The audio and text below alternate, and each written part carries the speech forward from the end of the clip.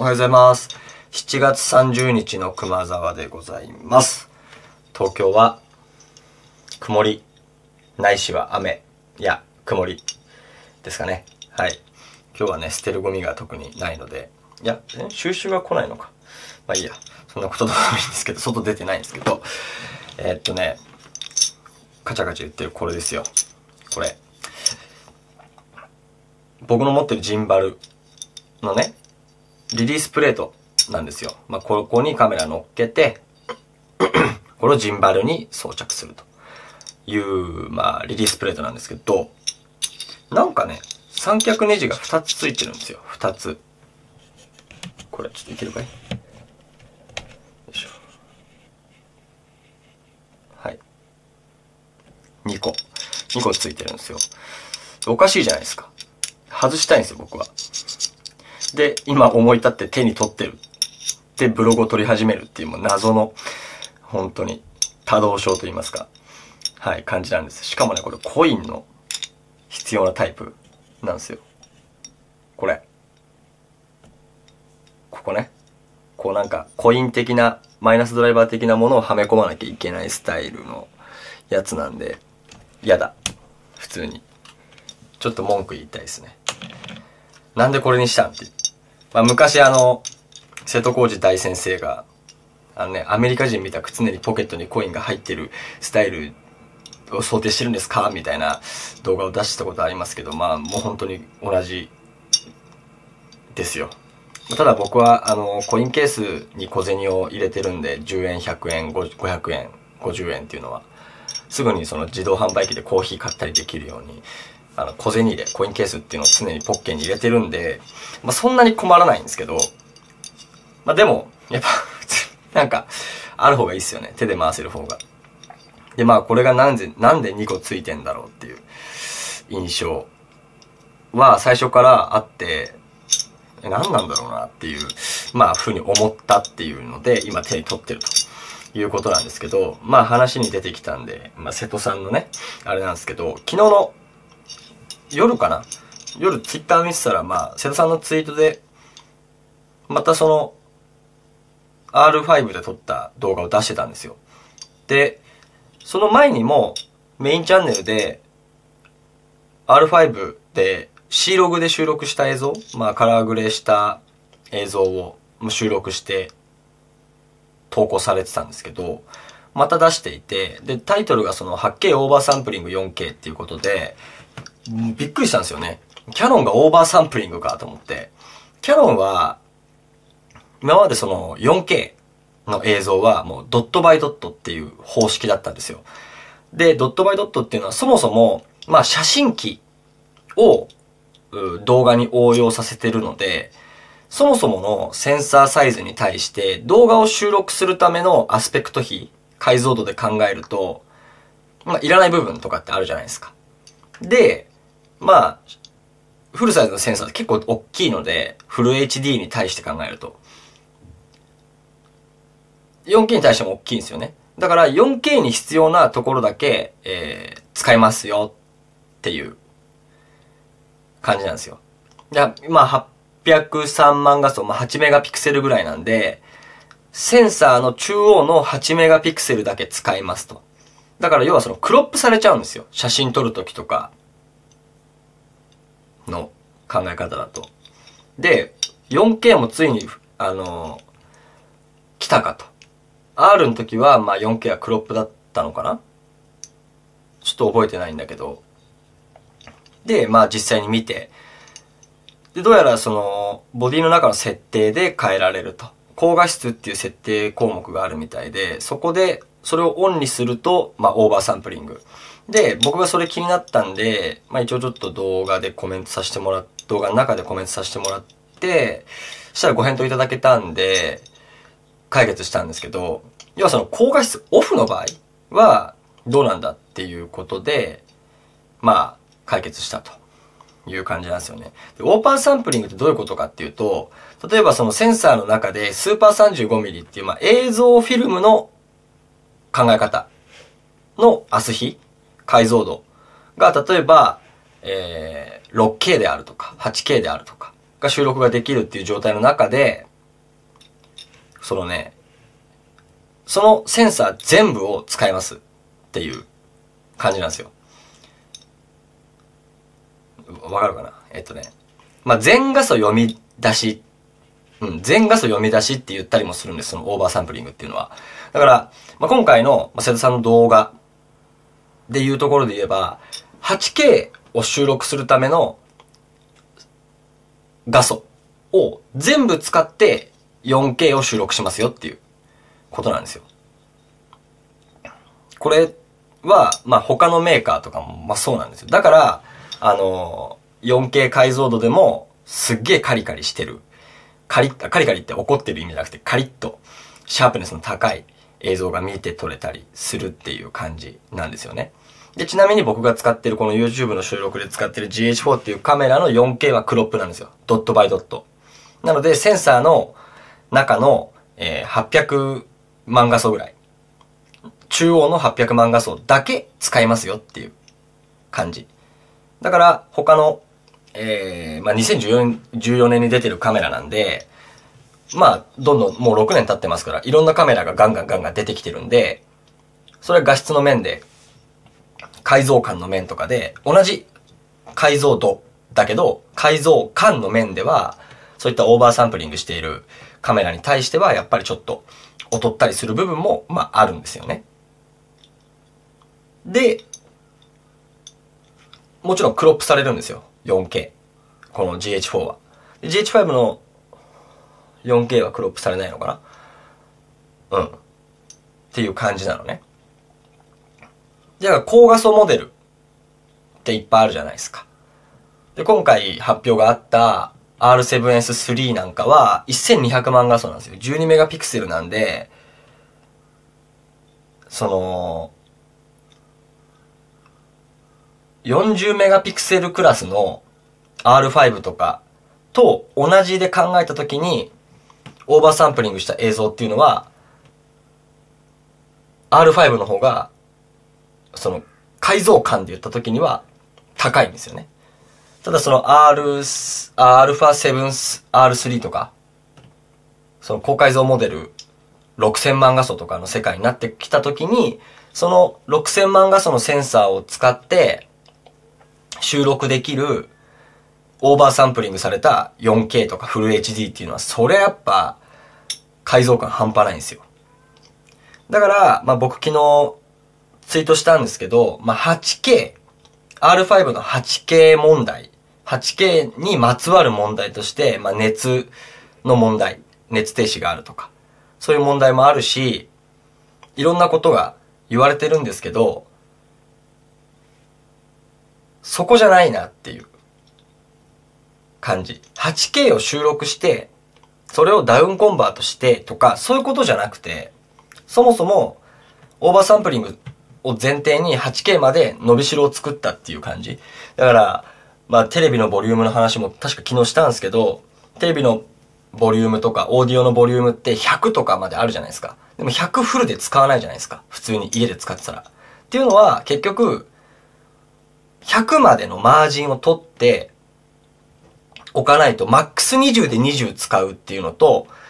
余白があっての20じゃ全然違うよっていうことだと思うんですよね。車もそう。そのメーターは150とか200とかまであるけど、一般コードで200なんか使わないじゃないですか。乗用車で。だから原付も60まであるけど、法定はまあ30なわけですよ。でまあ、ダメだけど、もうガッと、ね、フルスロットルで、永遠と走り続けられる長い道を走ったとしても、せいぜい出て今の原付って55キロとかそんぐらいなんですよ。そう。要はその30キロの法定で走るための、その余白ヘッドルームなんですよね。だから、そう考えたら、R5 って、その、8K に対しての熱問題であるとか、いうのはあるけど、これから 4K 時代である。間違いなく 4K の時代で、ある中で、4K の解像度を、のパフォーマンスを高めていく。ここまで高めましたよっていうのが、8K 収録が可能っていうところに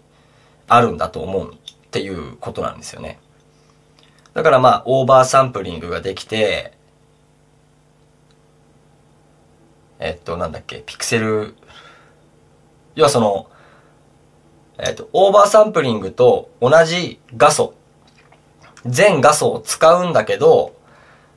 ちょっと画素数的に、解像度的には量が多すぎるんで、例えば隣り合わせる4画素を1画素と見て、えー、トータル画素数を。解像度に合わせていくっていう手段もあるんですよ。そうするとやっぱりどうしても解像感は落ちるんですよね。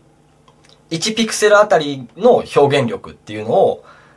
4個まとめて1画素にしちゃうんで、それは落ちるよっていうこと。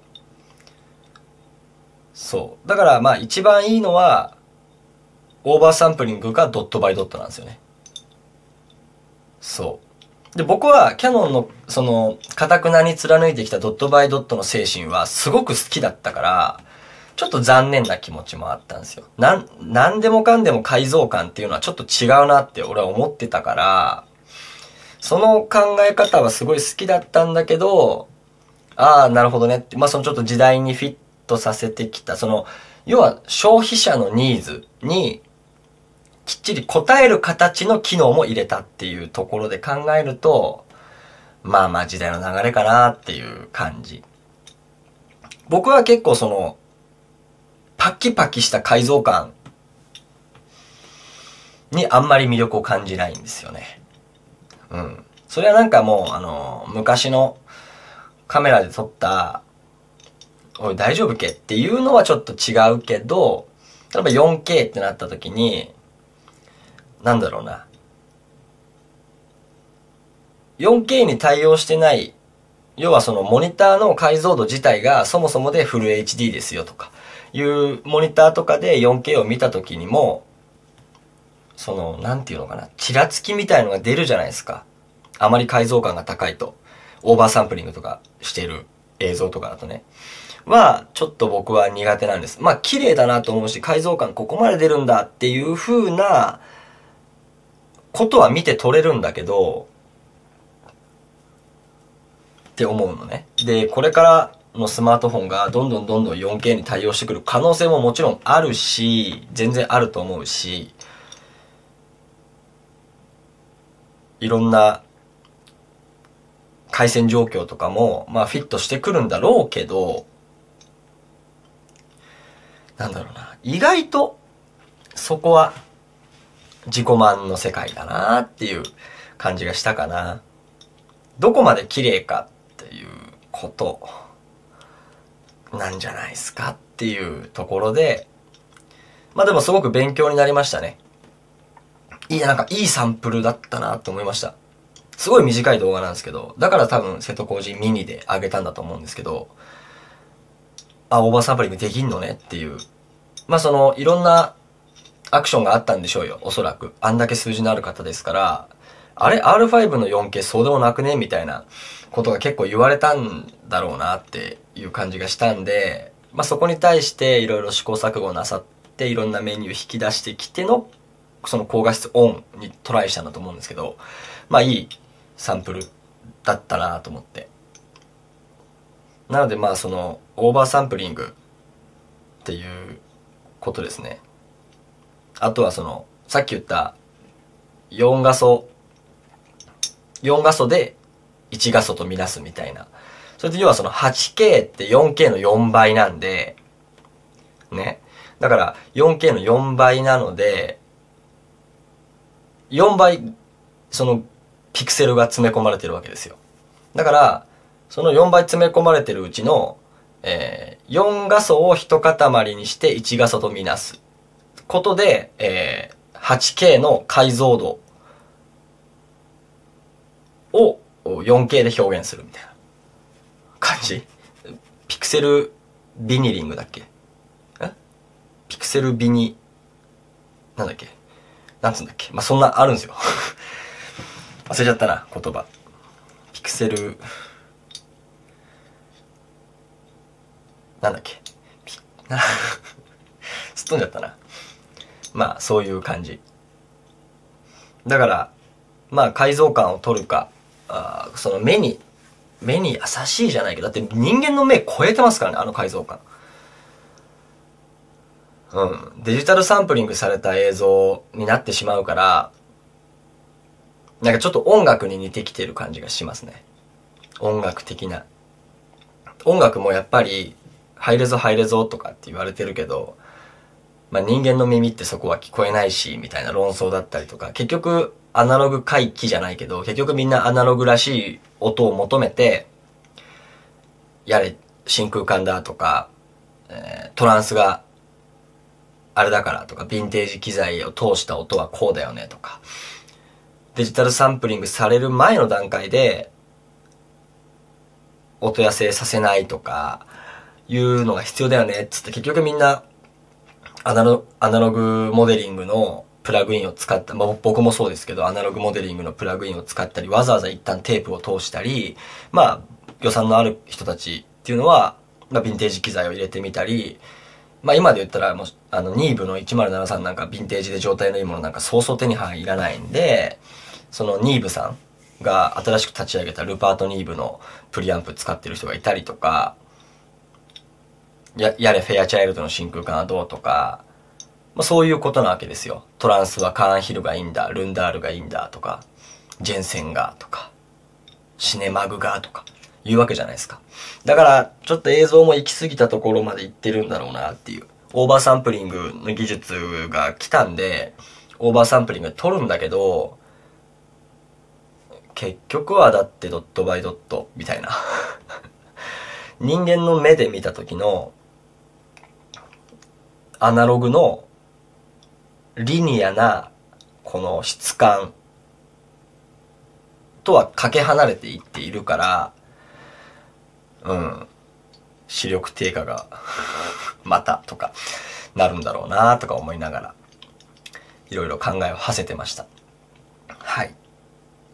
なのでねまあどう向き合うかですかね映像と。自分の表現と照らし合わせてどうしたいのかっていう感じじゃないですかね。結局は。僕はあんまりオーバーサンプリングで高解像なもの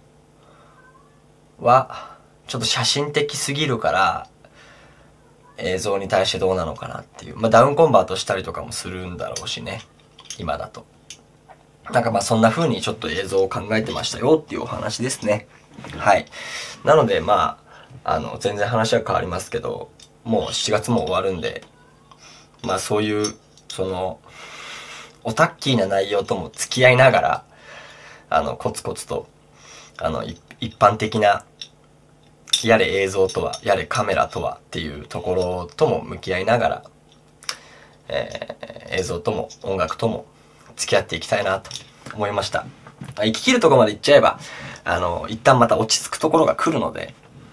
まあそれでいいのかなと、えー、思いました。なのでまあ自己満の世界でもありながら、あの表現なんてやっぱエゴですから、自己満足の世界ですから、まあそこをどう取り入れていくか、最新機種だったり、最先端の技術であったりをね、まあそういうとこと向き合いながら一生懸命やれたらいいんだろうなと、えー、思ったよというようなお話ですね。だらだらと長かったですけど。はい。ということでね、今日もコツコツ映像やりながら、音楽もやりながら、頑張っていこうかなと思います。まあ、頑張る必要はないんですけど、なんていうことを昨日言ったんですけど、まあ、あの、頑張りどころを間違えないようにっていう意味合いで、えー、まあ、頑張るということで、今日も一日、元気に健康に、コツコツと繰り返す、ということではなくて、何これあの、積み重ねるっていうね、えー、ことを大切にやっていきたいなと思います。熊沢でした。